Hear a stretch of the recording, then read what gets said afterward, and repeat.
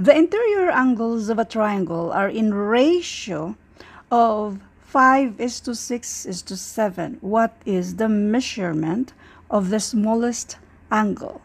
At ito ay random post sa ating FB group na Philippine Civil Service Review for All.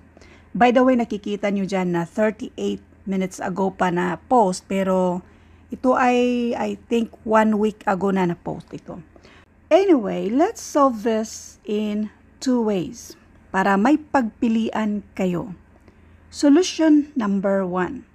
Laging tandaan, yung interior angles na binanggit dito, ang total dyan, yung constant total dyan ay 180 degrees. So yan ay i-divide natin sa total naman dito sa ating ratio na 5, 6, 7. 5 is to 6 is to 7. I-add natin yan siya. So, 5 plus 6 plus 7, this is 18. So, therefore, 180 degrees divided by 18 and this is equal to 10. Now, yung tanong, what is the measurement of the smallest angle? Ang smallest dito ay itong 5.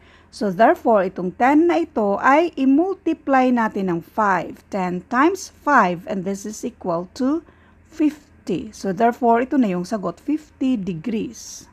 Now let's do solution number 2. Let n para sa mismong common number na i-multiply natin dito sa ating ratio.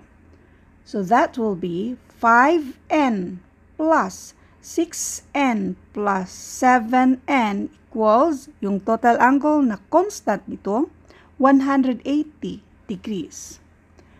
5n plus 6n plus 7n, this is equal to 18n. 18n equals 180 degrees.